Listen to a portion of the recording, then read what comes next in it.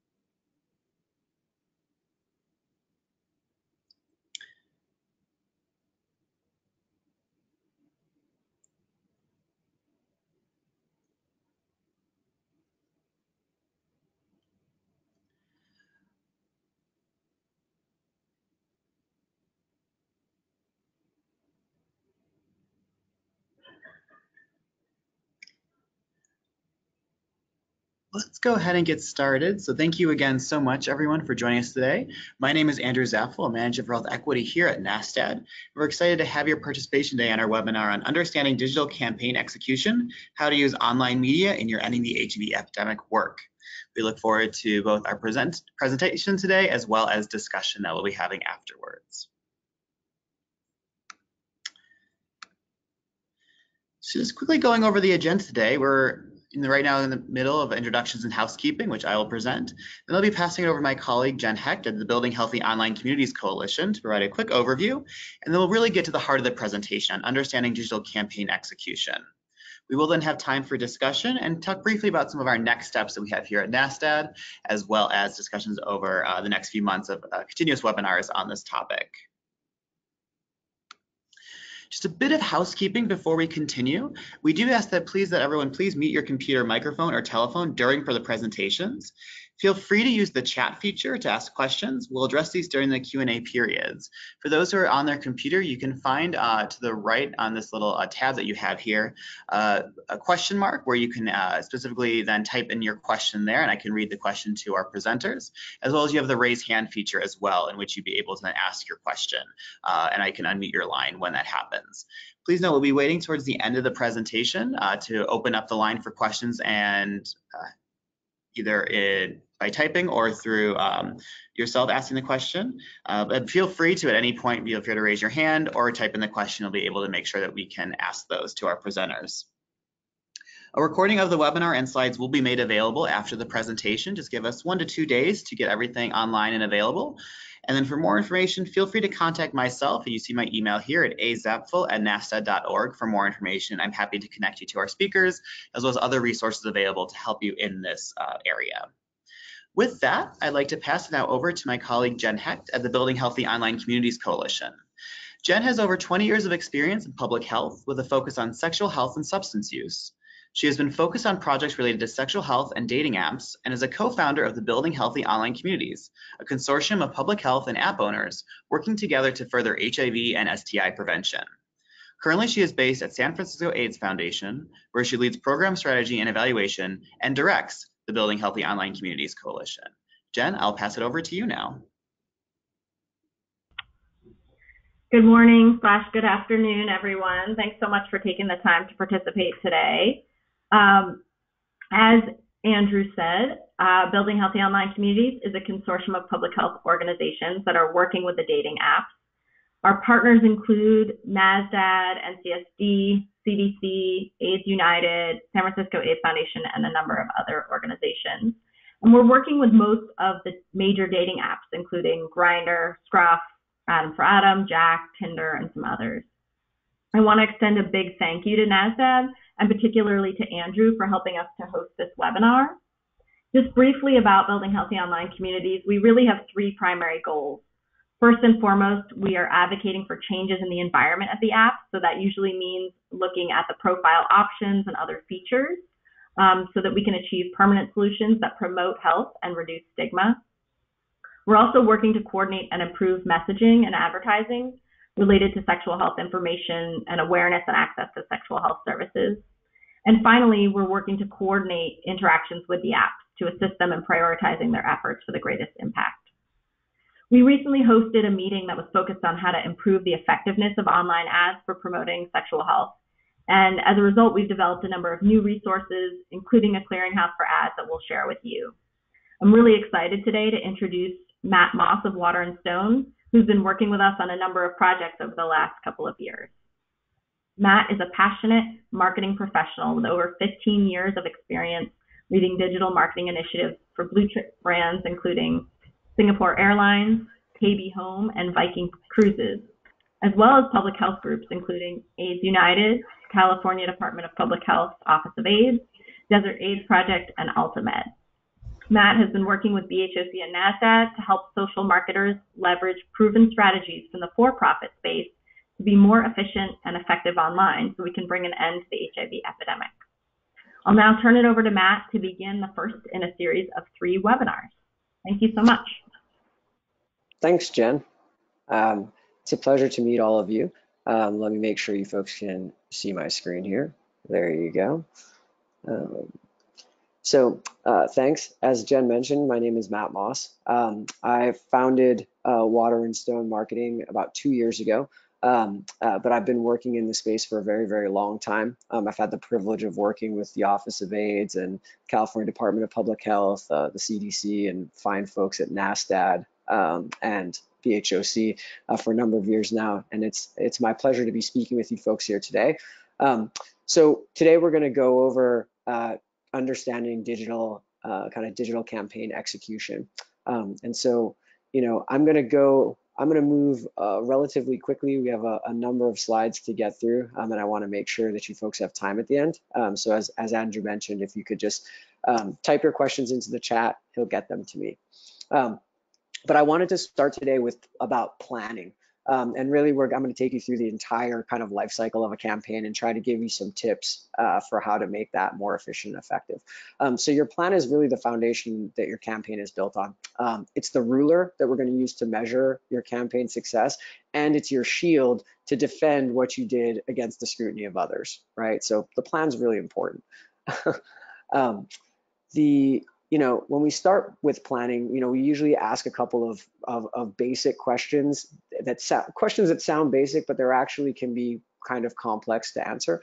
Um, but I'm going to help give you some of those today. Uh, the first one is what we're trying to achieve and why, which are your goals. Um, you know, the audience that we're trying to reach or the people we're trying to influence, right? Um, and then why that audience should do what you want them to do, right? Which is usually our message. Um, and then also what resources we'll need to reach them. So what is our budget?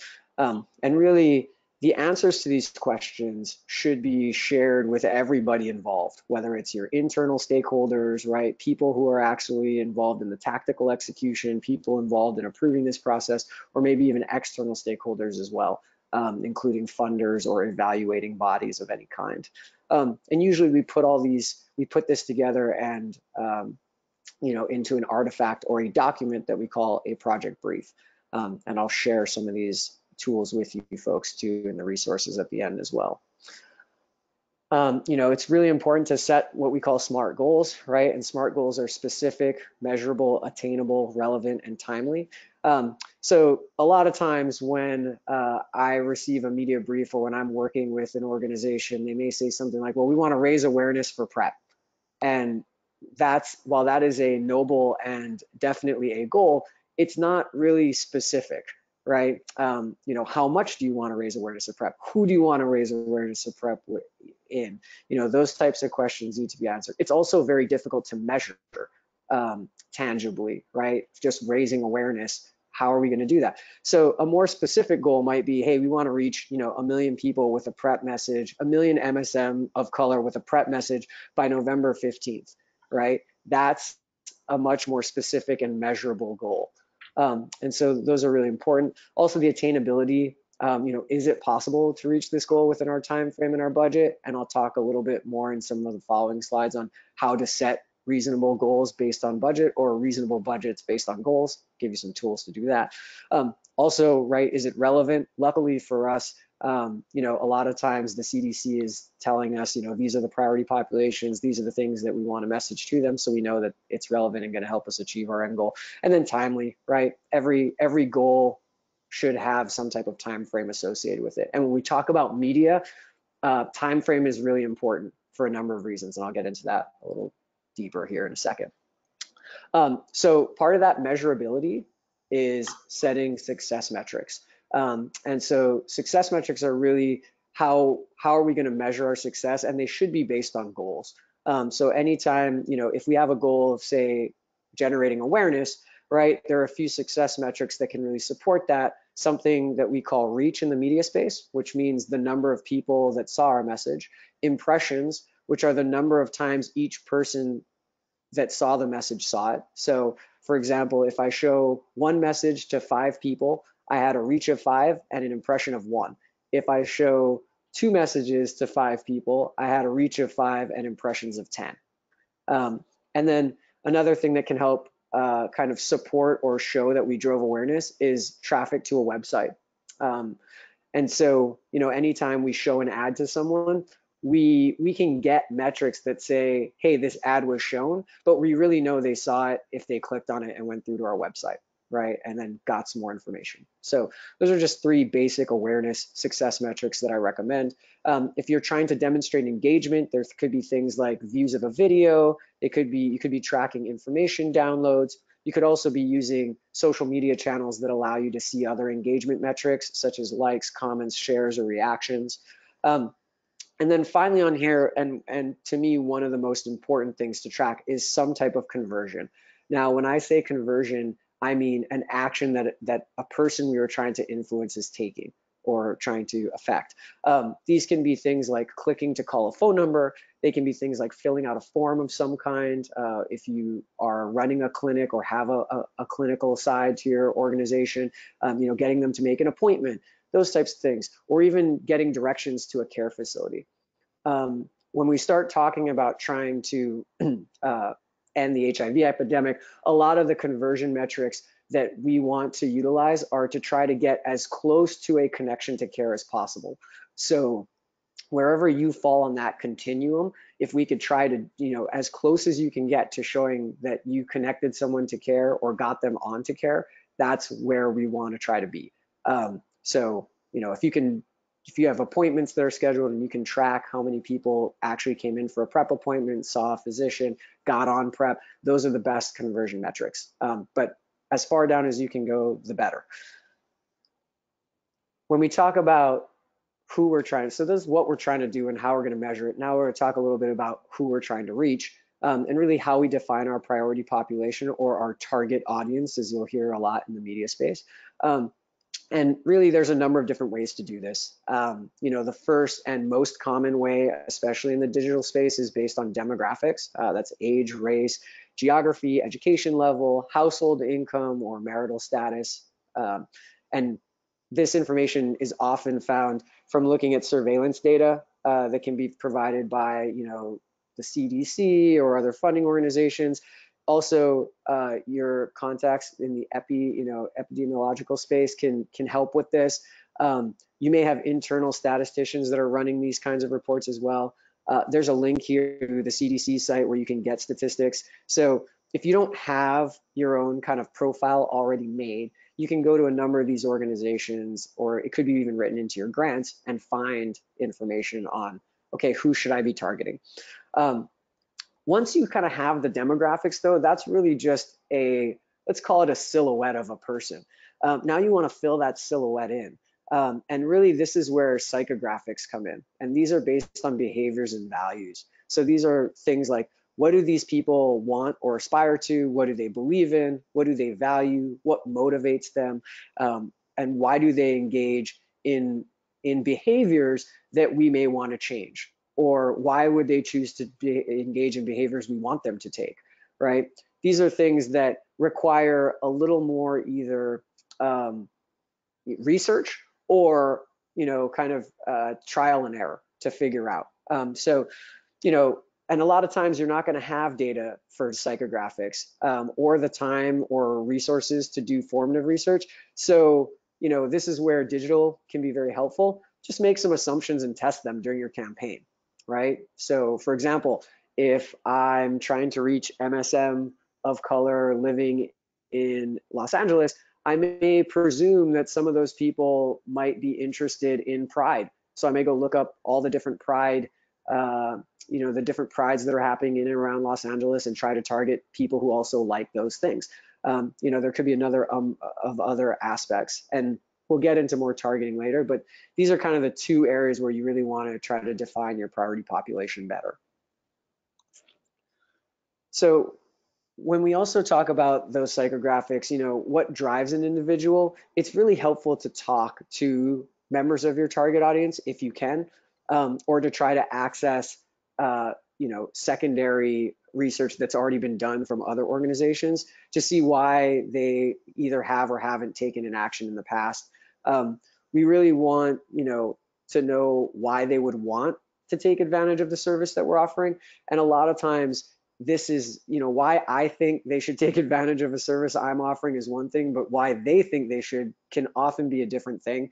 Um, and so, you know, it's really important to try to get that perspective, um, especially if you are creating your own campaign from scratch. Um, it's very, very important, especially in this space, to try to involve members of the communities you're trying to reach in that development process.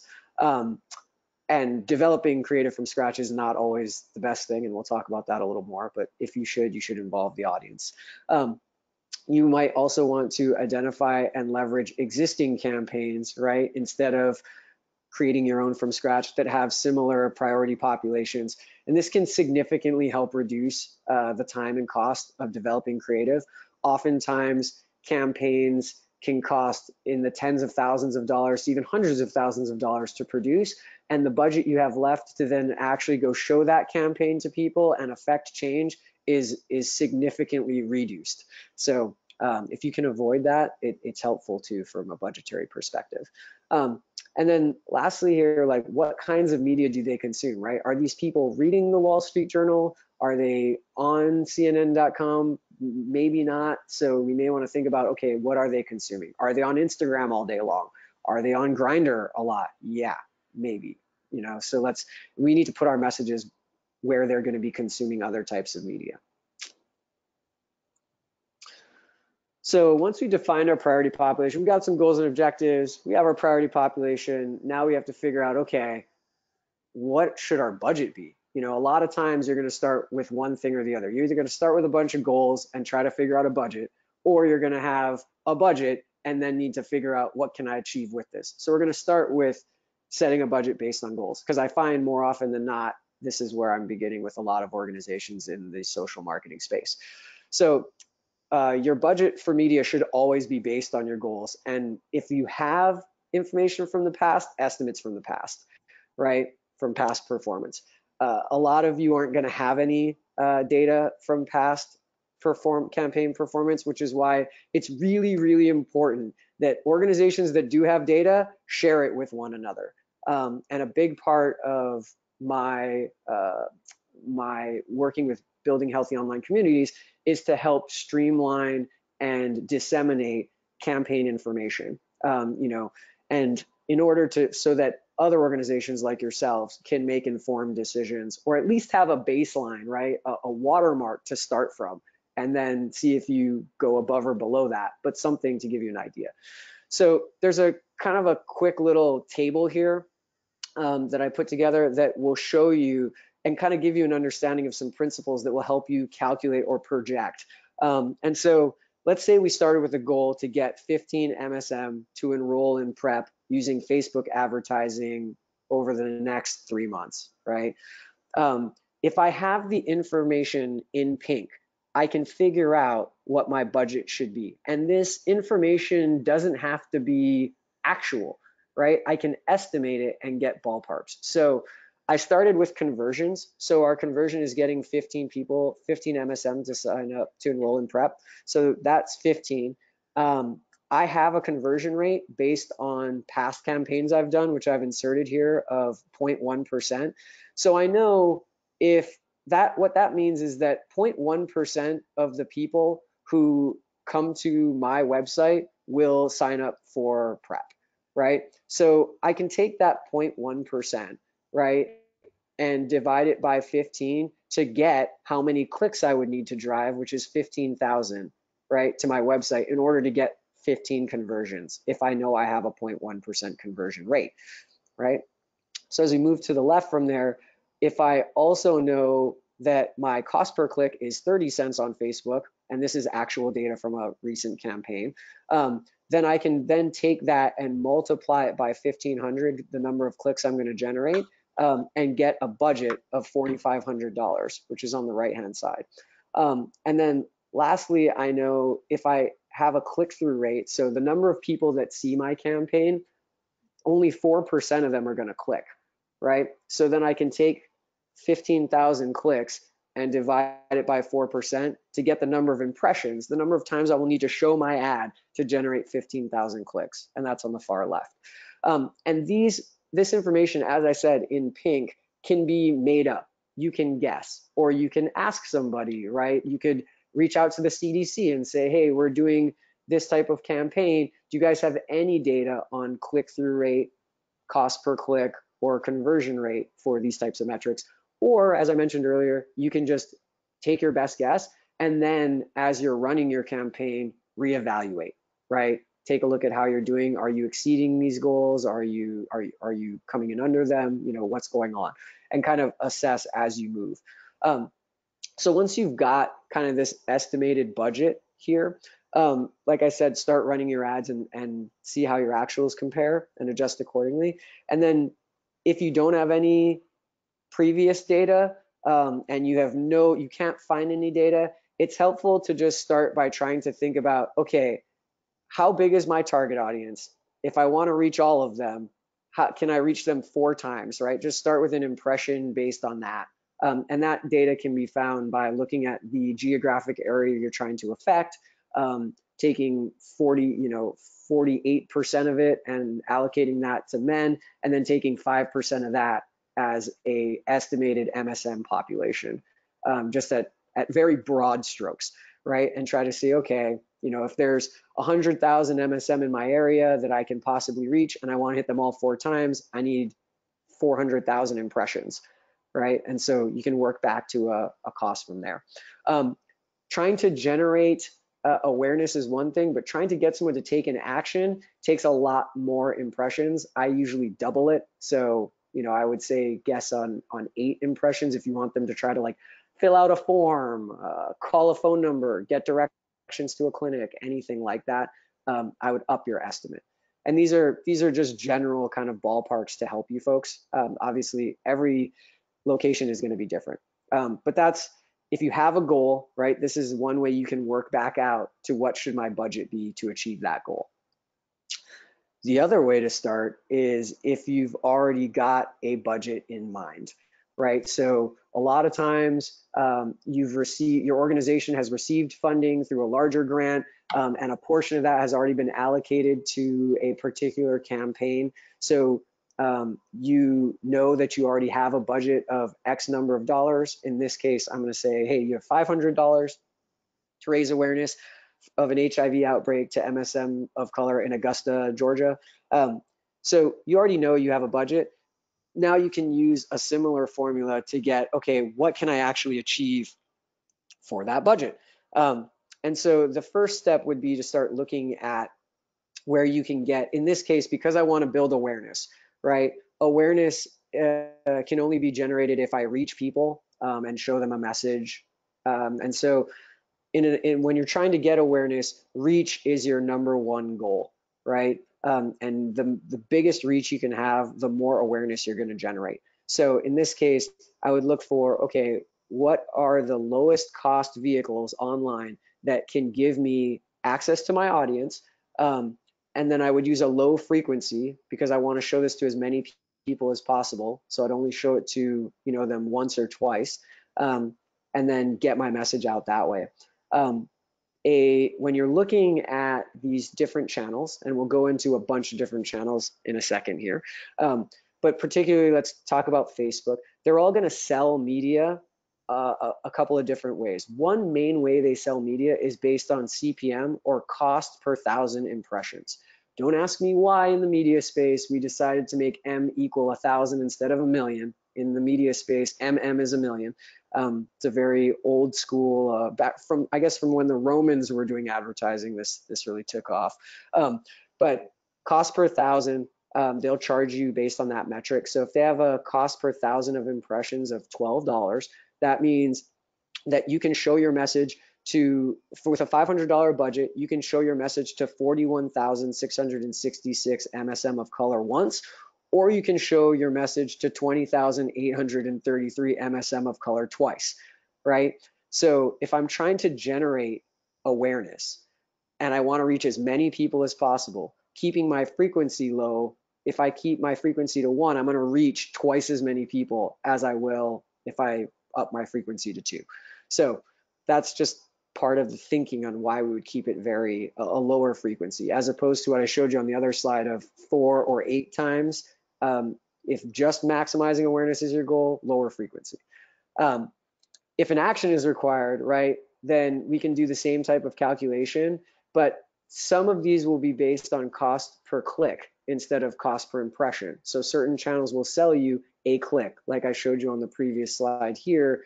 Facebook might charge me 30 cents a click, right? Um, and so then I can do the same thing if I'm trying to generate clicks. And using these metrics will, will help significantly. Um, there is this, so once I have kind of my campaign and I have my budget and I've picked my media channels and I'm running them, it's very, very important to monitor and adjust during your campaign. Uh, digital media is not something that you can set and forget. One of the reasons why, uh, there's a plethora of them, but one of the reasons why is that, you know, over time, increasing your media spend will eventually lead to diminishing returns.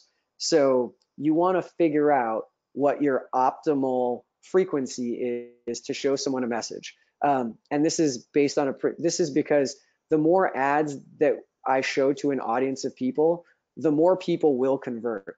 But the rate of the conversion is going to start to diminish after a certain frequency, and that's optimal frequency. And this happens because I'm basically paying more and more money to show my entire audience this message more and more times. So people who are less likely to convert within a week, within two weeks, within a month, because they saw three ads, will start converting once they see four ads, less of them will start of my population will start converting once they see five ads even less will start converting once they see six etc but i'm still paying to show six ads to everybody in that population.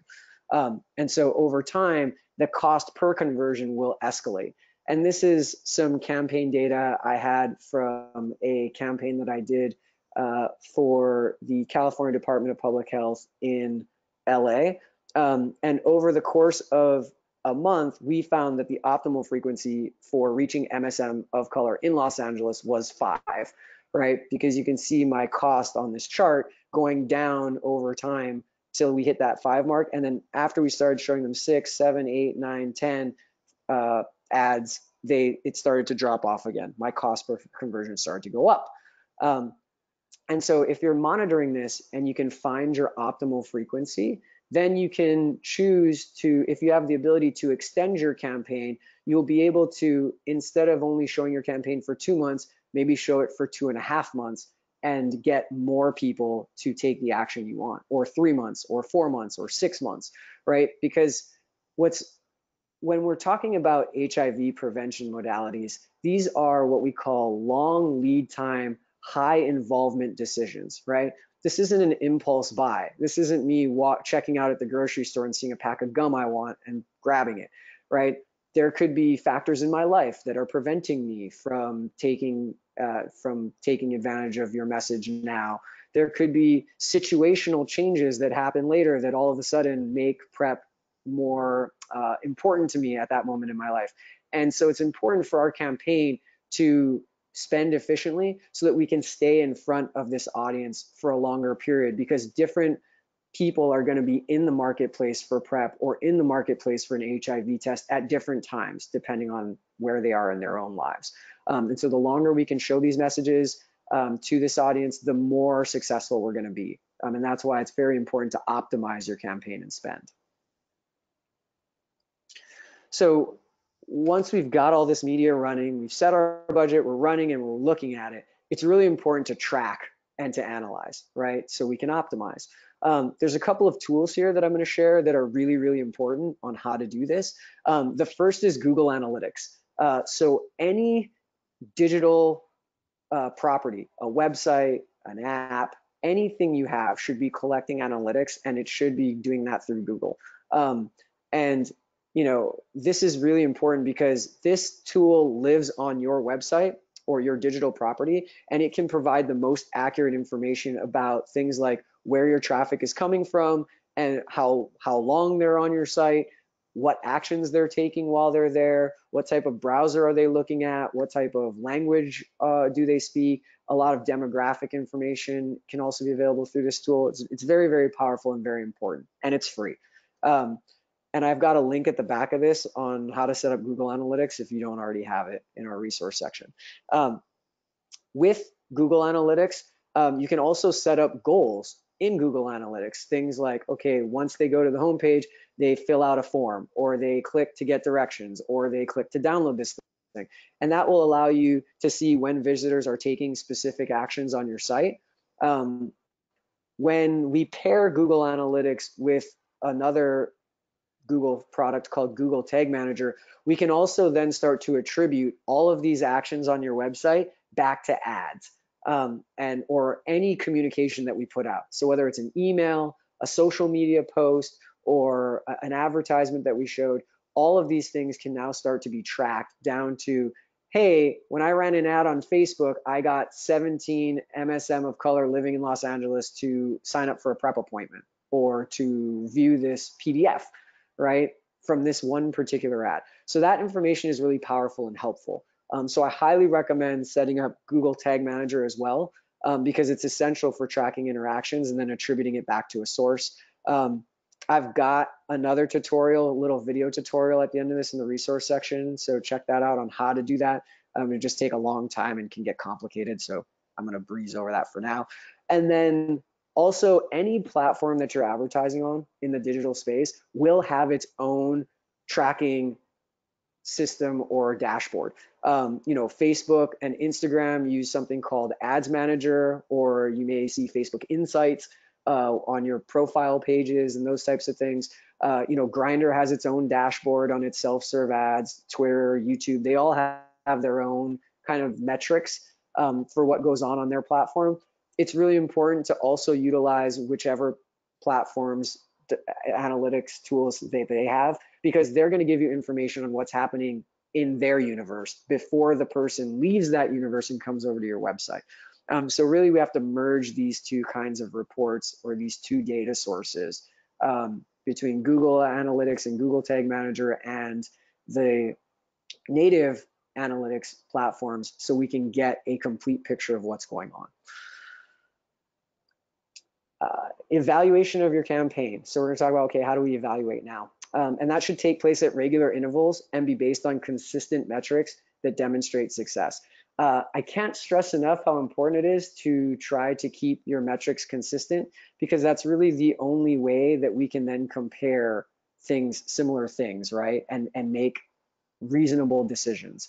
Um, and I like to do weekly evaluation and monthly reports um, as a, you know, kind of a, a, a good reporting interval. Um, but depending on your resources that you have, you could uh, you could lower this amount, right? You may not have the resources to pay, or you may not have the time, right, to go look at it every single week. So you may do every two weeks, right? Um, you may only do a monthly report, but try to start with looking at your campaign at least weekly and reporting on it monthly um, over time. That will help you significantly. Um, also, you know, we besides just resources, there could be a number of other barriers standing between you and the outcomes you're trying to achieve. But all of these outcomes can be achieved with the right strategy. So um, we're going to talk about next in this a few ways to overcome common barriers that both I and my colleagues at BHOC and NASTAD have heard repeatedly. um, from organizations that we work with.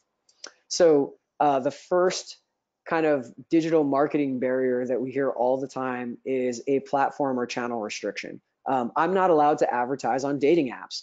Um, and so, you know, while dating apps and or hookup apps, whatever you want to call them, I'm going to refer to them as dating apps as we move forward here, like Grindr can be, or Jack'd, or Scruff, Adam4Adam, right, Hornet. They can be really effective ways to reach MSM there are other channels like Facebook, Instagram, and Google that can be just as effective and in some cases even more efficient, depending on your ability to target your priority population. So if you feel, and so there are other options, but if you are running into this barrier and you feel like apps are still an essential part of your mix, your media mix, and really important, then you can consider working with a third party ad agency or another community based organization to place ads on your behalf, right? So, um, you know, oftentimes, um, you know, certain organizations won't be able to run on Grindr and they will come to an organization like myself and say, okay, we want a campaign we're going to give you this X number of dollars, and then you go run on the media channels you think are best. But as an agency, I can give them one more layer of insulation from that. Or they may provide that to building healthy online communities, who then comes to an agency, and then it's a building healthy online communities campaign instead of the California Department of Public Health campaign. Um, and so in that way, you can kind of shield yourself from those and still reach your target audience. Um, Another common barrier that we get all the time um, is around campaign and ad approval issues. And so there's really two facets here. The first facet is internal. Um, you know, I can't get the campaign I want to run approved by, you know, our public relations arm, you know, by compliance, by whoever internally before I even go outside. Um, and so, you know, a lot of times we can get around this by um, just using creative that's already been approved, right? So the CDC has campaigns that have been approved to run nationally that you can use for free. Um, there are also other uh, organizations that have produced campaigns, um, and the BHOC has an ad clearinghouse that I'll give you a link to here that you can also go to to find existing campaigns that you may be able to utilize. Um, and then the second side of I can't get my campaigns approved. So if you can get them approved internally, then you've got to run them. Um, and a lot of times, different media channels have their own restrictions on what you can or can't say in your ads, right? So it's important if you do decide to go and develop from scratch to have an understanding, or the people you hire to develop for you have an understanding of what those restrictions are before you start developing your creative. Um, and so I've also included some links here to some resources that uh, can be very helpful in this. And I've discovered these through trial and error, right? Because um, a lot of these, particularly Google and Facebook, they have blanket statements that say, look, you can't, you cannot target someone based on an existing health condition or based on a, you know, based on sexual preference or based on ethnicity right? And so those can often be barriers, um, but there are ad policies here that you can look at. Um, and also consulting with an agency who's done this before or a partner organization that has done this in the space before can be very helpful in shortening that approval process. Um, another marketing barrier we run into all the time is a budget, what we're calling a budget cliff. Um, and that's, I have to spend everything by June 30th, uh, but I'm not ready um, or you know I don't have a campaign ready yet and I was supposed to spend this money. So a lot of times um, that can be we can get around that by partnering with a third party, either agency or community-based organization as well, um, and really you know giving the budget to them to hold in trust or escrow for our campaign until it's ready can often be a way to get around this. So again, important to reach out, talk to other organizations in your space, see you know what they're able to do, um, and look at that. Um, also, budget size is a common uh, you know issue here, um, and for most organizations have less money than they'd like, um, and they're looking for existing. You know, it, it, helps to look for existing campaigns Um, and here's a link to the clearinghouse, right, that I mentioned earlier, and the CDC. These both have a lot of free campaigns you can utilize. And then also just reach out to each other and see if people will share. Um, depending on the size of your market and the competition for your audience, you might be pleasantly surprised with how far your money can go in Facebook, Google display ads, those types of things. Um, you know, we can very, very low cost. I mean, even with $500, right, we can we can reach thousands of people in a given area. So um, there are creative ways around it. Um, now we've talked a little bit about barriers. We've talked about planning. I'm going to talk about different media channels that are really, really important in the space. And I, I, know I'm running a little short on time, so I'm going to try to keep this to about 10 minutes. So we have 10 minutes left for Q&A. Um, but the right media channel will really let you reach the right the right priority population with a compelling message when they're willing to receive it and for a reasonable cost. Um, so different digital media channels we're going to go over um, are Google Display Network, um, which lets you run ads across millions of websites and apps based on user information. Facebook and Instagram, which are the two most popular social media platforms, which also let us run ads on their social networks. Um, and then last but not least, dating apps like Grindr, Adam4Adam, etc. Um, and so Google Display Network, this channel will give you access to the most people of any media channel you can come across. Um, it's millions of users across millions of websites, um, hundreds of millions of users across millions of websites.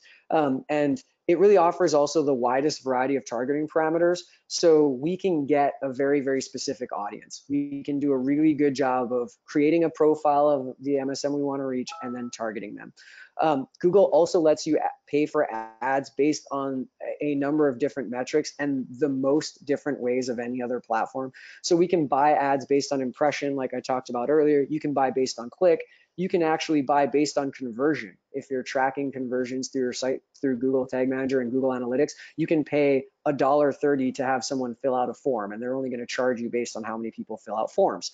Um, so these are just really, really good ways um, for us to take advantage of, and it allows us. You know, Google also allows you to buy based on real-time bidding. So you're only paying what you know what the market is paying for ads um, which is important, and we'll talk about the differences later. Um, but because of its fast reach um, and highly customizable targeting capabilities, Google Display Network can be one of the most efficient and effective digital advertising channels for marketers that know how to use it. And why that's important is because on Google, in order to be efficient, you need to build a good audience. So if you don't know how to reach MSM or how to define them within the parameters Google allows, then it can be challenging. So we'll talk about some other ways of targeting here with Google. You can target based on demographic, right? So gender, age, household income, marital status, or parental status, etc. So usually trying to reach MSM, um, we start with men 18 to 54 um, and, and not necessarily a parent just to help narrow, right? And we're just, we're making broad assumptions here, but we're trying to narrow it down. Um, then we would add affinity or custom affinity targeting to that, um, which basically allows you to show ads to people based on interest groups, whether they're foodies, health and fitness buffs, news junkies, avid readers. These affinity groups are buckets that Google puts people into based on their behaviors online, right? So we can look at men's media fans um, when we're targeting these groups. We can also start to customize these and look for things that um, that will help. So what type of sites do they like? What type of media are they consuming, right? We can add those to the mix to build our own custom affinity groups to make sure we're getting our message out. Um, and really when you're utilizing these, it's really for getting your message out to as many people as possible. Once we start to customize intent audiences and use custom intent audiences, this is where we start to add keywords, right? Things they may be searching for, right? Are they already searching for PrEP? Are they searching for pride? Are they searching for, you know, um, MSM, other MSMs online. What are they looking at? How are they searching? We can add those and really start to customize and then our audience and really start to hone in on, okay, are we doing a complete audience? And at the back of this document, we have a resource link to a keyword list and affinity groups that um, BHOC has collected from a number of different organizations doing ads to MSM to help you with a, a starting point, right, to building these audiences. And then last but not least, Google lets us remarket. Um, this is really important. um, remarketing is showing your ads to people who have already been to your website. They are ultimately going to be the most likely to convert. Um, and but some of you may be restricted based on the content of your site on whether or not you can even do remarketing. If you're allowed to, I recommend it. It's going to be the most efficient type of digital marketing you can do. Facebook and Instagram, right? We're all familiar with these social platforms. You can buy, again, based on demographic or geography. You can also do interest-based targeting here, um, which means we can get very, very, specific, much like Google with affinity groups and those types of things. Um, it will allow you to pay for ads based on the number of times your ads is seen, so impressions, clicks, conversions, um, video views, and a whole bunch of other stuff. And it's also real-time bidding. So very similar to Google, but you're only on Facebook and Instagram. One of the good things about being on Facebook and Instagram, though, is that when people are on these platforms, they're in an exploratory mode. So they're already looking for content. They're willing to go out and explore. They're highly likely to click. Not always the case with some of the other media channels. Um, and I'll talk about that here with dating apps. So in particular, dating apps, right? There's a number of these. You're familiar with them. Um, but these, because of the nature of the application, the, the biggest strength of dating apps is that you're guaranteed to reach MSM, right? If you're on an MSM focused dating app. Um, so it's, it's a really good way to not have to build your own custom audience, but these apps charge a premium for reaching that MSM audience, right? So they make it really easy, but they're charging you more than Facebook or Google will charge you when they when you get to the cost per thousand of impressions. And most of them will only let you buy media based on the number of impressions you're purchasing from them and a geographic area. So not a lot of targeting allowed here um, and not a lot of purchase options and they're setting the price. So they can say, hey, we're gonna charge $20 per thousand impressions instead of where Facebook can only charge 12 because that's what the market will bear right, on Facebook. It's a bidding system. So buying direct can be a challenge uh, from a cost perspective too. So that kind of covers in a whirlwind uh, the different media channels and kind of execution. So I wanted to save some time for questions. Um, so Andrew, I don't know if we've had any questions come through. We have. Thank you so much. First, a big thank you so much for that great presentation, and already already getting some comments and I, even some emails I've just gotten on, on uh, how great this presentation was and requests for slides. Just a reminder to everyone, all this uh, this webinar has been recorded and slides will be made available after the presentations. We do ask you just give us a day or two just to be able to compile all the information and be able to present it to you all. But everyone who is registered for this webinar will receive an email with a link to the slides as well as the recording of the webinar itself. Um, I just a reminder as well, if anyone has any questions, you're free to now either use the raise your hand feature where I can then unmute your line and you can ask the question directly, or feel free to also type it in the chat box feature as well. Um, so Matt, I'll go ahead and get started with uh, this question I had a couple of times, and I think it'd be really helpful, you know, there's a bit of confusion still a little around reach versus impressions. I was wondering if maybe you could just explain again the difference between reach and impression, as well as maybe give an example or two. Sure. So reach is the number of people that saw my message at least one time, right? So if I show one ad to five people, I have a reach of five, right? If I show it to them one single time. Impressions are the number of times my ad was seen in total. So reach times frequency, the number of times each person in that that I reached saw my ad equals impressions.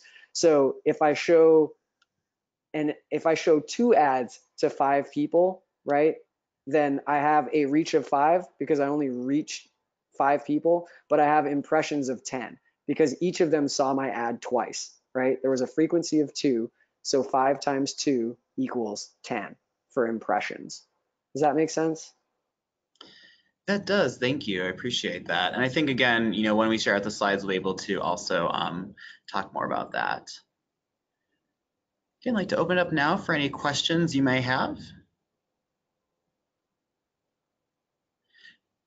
Jen, while we're waiting for questions, I uh, while you're still on the line, I know that um, Matt really talked a bit about the the compendium of all the resources we're trying to collect on just different online advertisements. Do you want to describe a bit more about that and how people might be able to share their own resources um, as they develop them? Absolutely, yeah. So first off, um, bhocpartners.org is the home base. Um, if you if you type in bhocpartners.org slash ads, you will get to the clearinghouse. And again, we'll send these resources out. And you'll be able to search for um, different ads that we have been able to compile that are available for you to use. Some of them you can use kind of immediately. Some of them may require an extra step of getting permission, um, and the contact information is available there. Thank you for pulling that up as we speak. Uh, it is beautiful, and it was. Uh, we worked very closely with Matt on creating this, as well as um, our designer Annabelle Mangold. Um, so we're really excited about this, and we highly encourage you to use it. If you have ad campaigns that you've done and you want to share them, we are very eager to include them. So please send us information um, about your campaign so we can include it. And um, to the extent that you have data on the campaign, you know, how much you spend, how many clicks you got, etc. We are also working on compiling that information. Again, that makes it easier because what we can do is then benchmark and it gives us a better sense of well, in this one example, you know, it costs this much to get this many conversions or this many clicks, but in another example, it was different. And the more examples we have of that, the better we can give guidelines and guideposts for what you might expect to spend on any kind of future campaign. Um, we are also gathering information. If you've ever had an experience of having an ad rejected, um, we would love to hear about that. We want to make sure that we are working with our partners and um, with the social media platforms to to request clarity um, of those policies and of the appeal process, which is not always as transparent as we might like. So we're gathering that information. Um, and um, you can also uh, gather, you can look at information as well about um, where, what kinds of um, Facebook affinity groups you might use or Google um, keywords. Um, that's a that's a um, yep there we go. that's a document that we've just been finalizing. And if you have other examples that you want to share with us, you can do that, and we will amend and update this document. It's really just meant as a starting point. If this is something you haven't done before, it's definitely encouraged to do some exploration with it and experimentation yourself but we really want to make sure for people who haven't done it before that they have a place to start. Um, so hopefully that's helpful in terms of we are working on gathering as many different resources as possible. We will also be posting this webinar as well as the subsequent webinars, um, which we'll be sending out information for. There'll be another one in January and a third one in February. And I'll, I'll pause there and see if there's any other questions that have come in. Yeah, quick question for you, Jen. If someone wants to share an ad for inclusion, who should they reach out to? Great. I think we have a note on the um, one of those documents, but they can certainly either email it to me or to our project manager, Tony Taylor. So that would be Tony Taylor at bhocpartners.org. Awesome, thank you. And again, for those who are on the call and you know are affiliated with NASTAD, feel free to also reach out to myself, Andrew Zapfel, azapfel at nastad.org, and I'm happy to connect you with our colleagues at Building Healthy Online Communities to keep it easier. And as you can see from the screen, we also have their emails available um, right now as well. Uh, so we got a few more questions. Um, and first, let me get to the, this final question online. Then we have someone who has raised their hand to ask a question. Um, this is less of a question, more of a situation. Appreciate maybe your thoughts on this. Um, this person had a social marketing campaign focused on normalizing STI screening, and it was mm -hmm. rejected by Google due to sexual content. Um, and and the photos were considered G-rated, but we did there was use of terms like sexual health, which were flagged by Google, and it took a few appeals to, a few appeals to get the ad approved. Have you had any of those experiences, or what kind of you know lessons learned, or how would you say to go about doing working through this in the future? Yes. So um, yes, I have had those experiences many, many times. Um, you know, I've had the experience where Google has let me run an ad for months on end, and then we shut it down. And then as soon as we go to rerun it, they now flag that same ad that I just ran a million times already and and block it. So um, I can tell you this: uh, it's totally, unfortunately, um, Google and Facebook. Um, it's first it's an algorithm, and then it's a person that basically looks at this. Um, and depending on who that person is and how they're feeling that day, that's basically going to determine whether or not you get approved. The approval process, as Jen mentioned, is very long and arduous. Uh, most of the time, what I do is I pull down my ad, I change a couple of keywords, and I put it right back up as quickly as I possibly can. Um, because, and I can't tell you how many times that's worked, um, just because it doesn't trigger the same type of thing, and it doesn't um, it doesn't get on their radar as quickly, even though it's the exact same creative. The other side of this too so there's a targeting side, who you're trying to show your ad to. Then there's also a, a messaging side.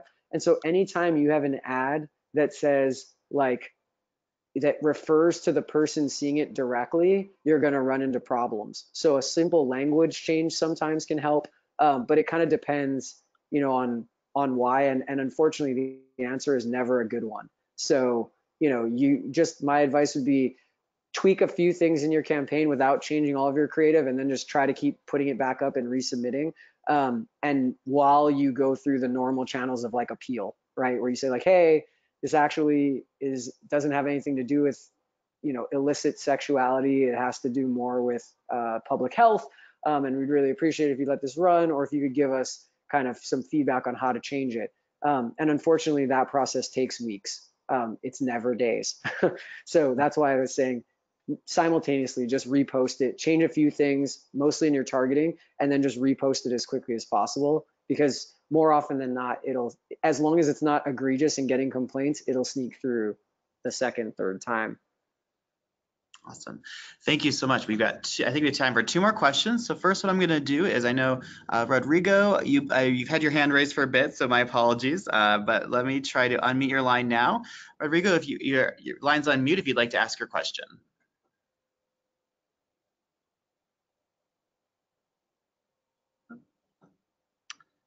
Rodrigo? Yes, we can hear you now. Might have missed them, but we will definitely follow up. And for anyone who has any additional questions, and for those who may have gotten to their questions on the uh, question box, we haven't gotten to them, I will share with our speakers and make sure that we follow up as well. Um, but I think the last question maybe we can land on is a question from Megan. Uh, do you have any examples of campaigns for a, an audience of foreign-born residents or immigrants, or information on best channels to reach these, this target audience, um, or examples of any campaigns so much for foreign-born as well as uh, those who've immigrated?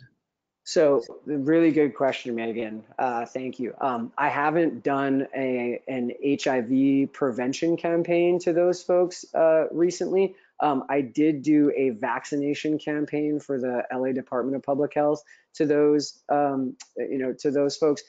And depending on, you know, the age range that you're going for, um, those channels can change, right?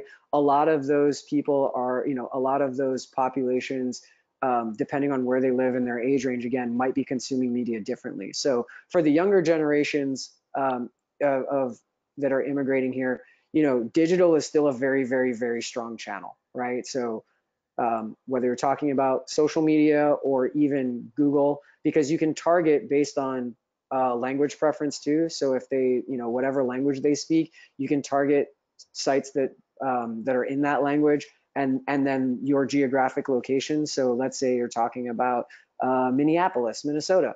I can reach anyone who speaks Chinese in Minneapolis, Minnesota within those ranges with my message, right? And so that, that's, you know, I, I like digital for that regard. There are also though these the older generations of these populations also still consume a lot of what I will call niche media, right? So they may be reading a, a certain type of paper that's published in their language. They may be looking, you know, reading magazines and those types of things too.